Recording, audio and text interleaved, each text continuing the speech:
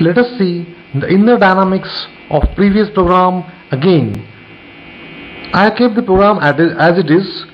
Only thing is that by using first, second and third for loop, first, second and third for loop, I would like to display the addresses of elements of the array R1, R2 and R3 respectively. After that, I'll display the addresses of SAM that is name of the pointer array then elements of the pointer array that is SAM0, SAM1 and SAM2 so I will display four addresses.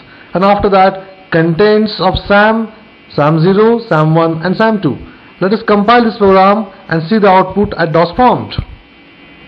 Now here are the addresses of the elements of the array R1 these are the addresses of elements of array R2 and these are the addresses of elements of array R3 So there are seven, dimension is 7 and there are 7 elements.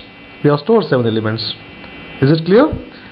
After this you observe addresses of name of the array SAM then elements of the array SAM0, SAM1 and SAM2 and next contents of SAM, SAM0, SAM1 and SAM2 okay now see the interesting point you see SAM is pointing the array of pointer SAM is pointing I mean name of the array is pointing to the first element of the array of pointers that is SAM0 hence this address and this address is same.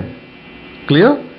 After that second element is this one. Address is 65470 and then address is 72 okay? So there are three elements it is the array of pointer of integer type means each pointer is pointing to an integer type of data and hence it consumes 2 2 bytes.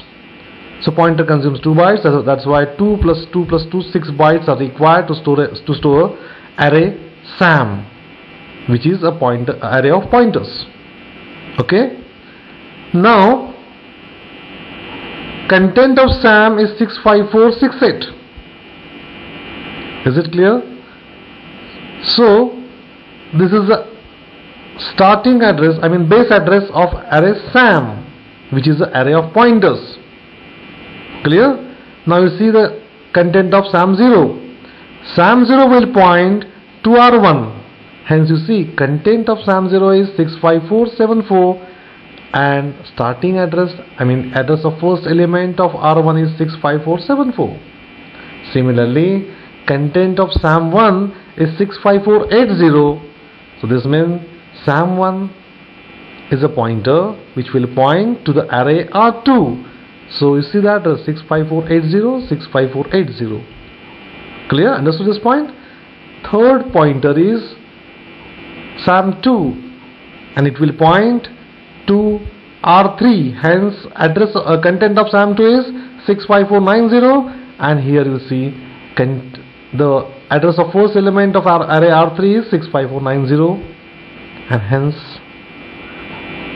the result is it clear so remember that we have declared array of pointers so there are three elements SAM0, SAM1 and SAM2.